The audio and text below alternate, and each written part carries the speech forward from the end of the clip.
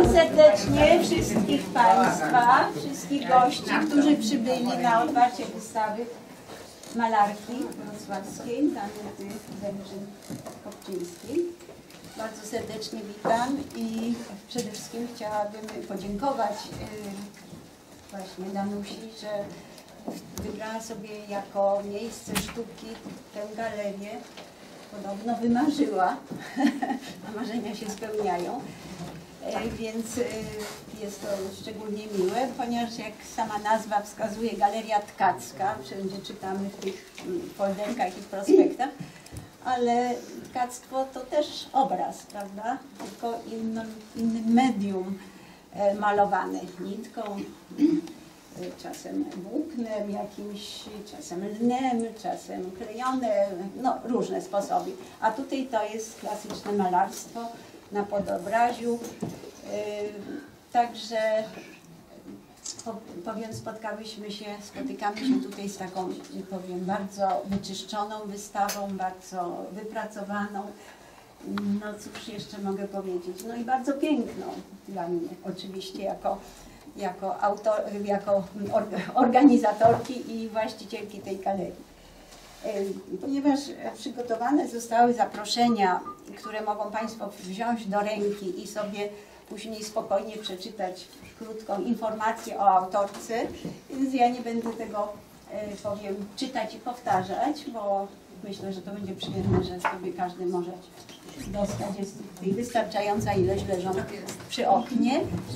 Ja natomiast chcę powiedzieć, że Danusia już e, od e, roku, półtora roku jest zaangażowana w pomoc w mojej pracy w galerii e, i mm, właśnie ta więź taka codzienna, która właściwie jest e, największym takim, takim spoiwem dla ludzkiego życia, e, właśnie powstaje podczas takich codziennych różnych problemów naszych zawodowych. Także ona dobrze rozumie, jak galerie w tej chwili ciężko funkcjonują, jak trudno znaleźć miejsce na wystawę, więc docenia to, że jest to miejsce sztuki we Wrocławiu na tych starych jadkach, które rzeczywiście wyglądają teraz bardzo staro, bo, bo jeszcze nie mają powiedzmy e, jakiejś, jakiejś dekoracji wiosennej, brak kwiatów, brak brak e, takich wiosennych znaków.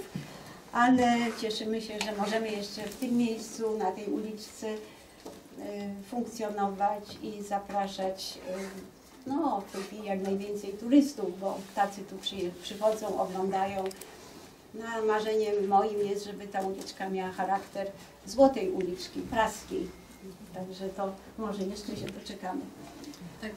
A y, teraz chciałabym właśnie jeszcze poprosić, żeby sama autorka powiedziała parę słów o pracach, chociaż też wszystko tu można właściwie wyczytać, ale wypada, y, bo powiemy najlepiej, najlepiej może o swojej sztuce powiedzieć autor. Powiem, że o mojej sztuce najlepiej powiedzą same obrazy. Proszę mi zaoszczędzić mówienia o sobie. Proszę przeczytać e, sobie tutaj w tych Tak, ulotkach jest parę słów i myślę, że to wystarczy.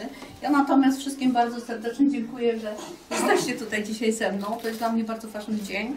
Spełniły się moje marzenia, że jestem tutaj w tej galerii edukacji, którą znam od kilkudziesięciu lat. I wreszcie udało mi się tu być, także bardzo dziękuję. Natomiast jeśli chodzi o moje obrazy, no to jak widać, to są abstrakcje. Ja mówię w ten sposób, te obrazy to jestem ja. To są moje emocje, które gdzieś tam przenoszę na płótno, yy, przemieniając je w kolory, w struktury, w faktury i myślę, że one przemówią do Państwa indywidualnych wrażliwości w taki czy inny sposób. A jeśli nie, to może uznacie Państwo, że są, nie wiem, dobrym materiałem na dekorację ściany chociażby. Ja może na tym skończę i serdecznie zapraszam do oglądania i, I i pytanie ewentualnie można... możemy porozmawiać Tak, jeszcze można zadawać. Dobrym mówcą nie jestem, więc